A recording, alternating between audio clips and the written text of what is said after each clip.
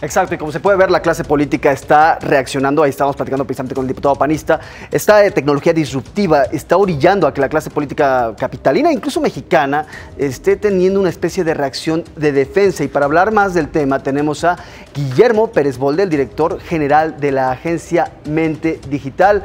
¿Cómo le va, Guillermo? Buenas noches. Hola, muy buenas noches. Encantado de estar aquí contigo y tu auditorio. Guillermo, tú has sido muy crítico del uso de Periscope porque consideras que es, está violentando la privacidad de las personas en la Ciudad de México. Pero estamos viendo al mismo tiempo que está sirviendo para denunciar algunas prácticas muy nocivas. Estamos hablando de guardaespaldas que son abusivos, estamos hablando de políticos que se pasan de la cuenta. Incluso ahora lo que veíamos en esta imagen de Xochitl Gálvez, ¿no? Una imagen que nos permitía un atisbo privilegiado a la clase política mexicana. Aquí yo veo, aquí yo veo una situación que es, es interesante. Eh, Periscope en realidad no es el problema, porque en realidad Periscope es solo una herramienta y así como esa habrá otras más, ¿no? Me parece que aquí la cuestión es, eh, partiéndolo por, secciones, lo que hizo por ejemplo Xochitl Galvez fue sin permiso, sin autorización de los presentes, pues difundió en dónde se encontraba y quiénes estaban ahí, ¿no? Que aunque algunos saludaron, pero muchos me, da la sensación viendo el video que no entendían siquiera qué estaba ocurriendo.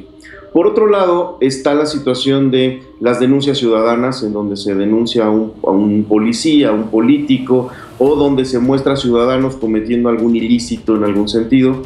Me parece que esta herramienta eh, es una, pero antes ya se utilizaban otras, porque antes ya se tuiteaba y se tuiteaba con una foto e incluso hasta con una liga, un video. Entonces esto no es nuevo, ya antes se había utilizado otras herramientas para, para este tipo de acciones. Periscope es la que está hoy de moda, es la que hoy se está utilizando porque aparte es muy fácil de utilizar y creo que va en ese sentido, por eso se está popularizando tanto.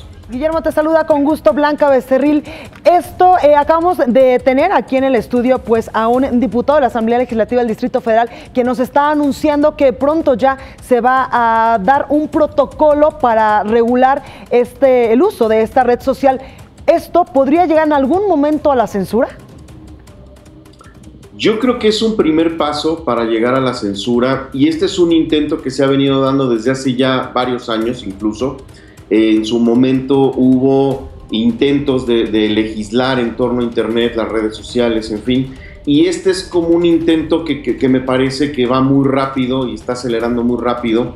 Eh, sí, efectivamente es un protocolo, pero está muy cerca de decir que sí y que no. Ahora, recordemos también que este es otro punto, que no porque sea en redes sociales no hay una legislación vigente, no porque sea Internet significa que la, legislación vigente en el país no, no, aplique, porque si yo calumnio a una persona, aunque lo haga por Internet, de todas maneras aplica, aunque sea por correo electrónico, aunque sea a través de Facebook. Entonces, eh, las, las, leyes también aplican para medios digitales, no, no necesita forzosamente haber una ley específica para este tema, es más bien hablar y ponerse de acuerdo porque me parece que hoy las denuncias están siendo eh, pues diario, cada día se están viendo situaciones nuevas y me parece que la autoridad se está viendo rebasada.